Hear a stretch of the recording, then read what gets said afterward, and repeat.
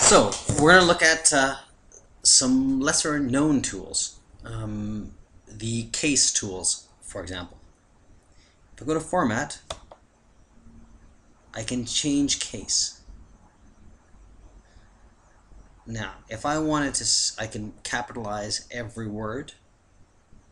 I can make it the opposite and correct perhaps something that was done badly if I press the shift block or the block majusculas, um, then uh, then you can fix that without having to do a lot of extra work.